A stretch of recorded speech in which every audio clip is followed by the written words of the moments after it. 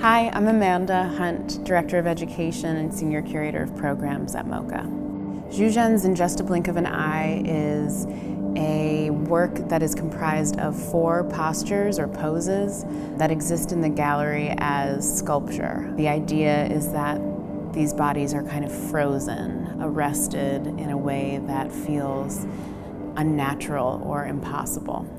Xu Zhen is a Shanghai born and based artist. In Just a Blink of an Eye was a work made in 2005. This is the first time it will be shown in California, and it's the first time that this work will be shown in its totality of four poses ever. It actually marks the second performance work in all of MoCA's permanent collection holdings, which is over 7,000 objects, uh, prints, drawings, sculptures. So this is a really exciting chapter for us. I think uh, it marks a new shift for us in terms of what we present in our galleries to the public, uh, how you can engage works of art, and how a living person can kind of act as a sculptural thing and cared for in the same way that the rest of our collection is.